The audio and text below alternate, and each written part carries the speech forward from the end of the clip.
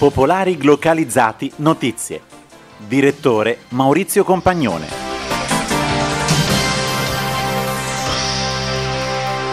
Buongiorno dalla redazione. A due giorni dalla strage nella redazione del Charlie Hebdo i responsabili sono ancora latitanti. I fratelli Kouachi, identificati dalle forze speciali grazie ad un documento ritrovato in un'autovettura, ieri erano stati visti al nord di Parigi in una stazione di servizio. Tutti gli uomini della sicurezza impegnati nella ricerca hanno rastrellato strade e boschi della zona rivoltando interi villaggi ma senza esito. Dalle informazioni diffuse dai media francesi ancora sembra che la polizia brancoli nel buio. Secondo gli inquirenti uno dei due fratelli accusati dell'attacco contro Charlie Hebdo si sarebbe recato nello Yemen nel 2005, poi in Iraq nel 2008, prima di rientrare in Francia e finire sotto processo, lo ha detto alla CNN il ministro degli esteri della giustizia francese. Secondo i media americani Kouachi sarebbe stato addestrato in quei territori dall'ACAP, il ramo di Al-Qaeda nella penisola arabica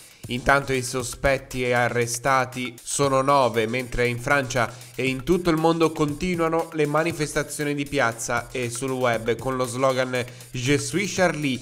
Ieri sera la Tour Eiffel si è spenta per qualche minuto in segno di lutto. Ieri il presidente americano Barack Obama si è recato all'ambasciata francese di Washington per porgere le condoglianze per le vittime della strage di Parigi. Il presidente ha osservato un minuto di silenzio, poi sul libro delle condoglianze ha scritto Siamo accanto ai nostri fratelli francesi per assicurare che giustizia sia fatta e il nostro modo di vivere sia difeso.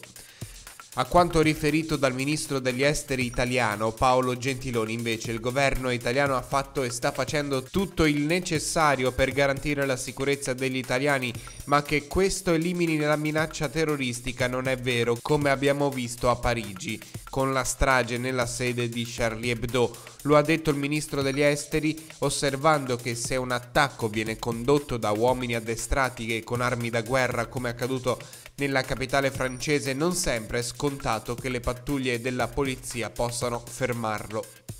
In chiusura cambiamo argomento, Egitto al voto per il rinnovo del Parlamento, le tornate elettorali si terranno tra il 22 marzo ed il 7 maggio, le date sono state annunciate dal presidente dell'Alta Commissione elettorale Ayman Abbas in una conferenza stampa al Cairo. Questa era l'ultima notizia, l'informazione torna alle 14.30 circa. Vi auguro una buona giornata.